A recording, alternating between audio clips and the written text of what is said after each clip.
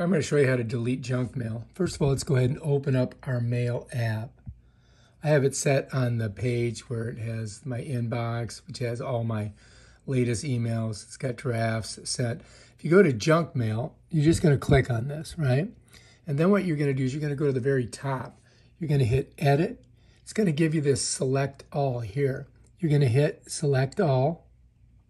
It's going to mark every single one of these, and you're going to come to the very bottom. You're going to hit delete.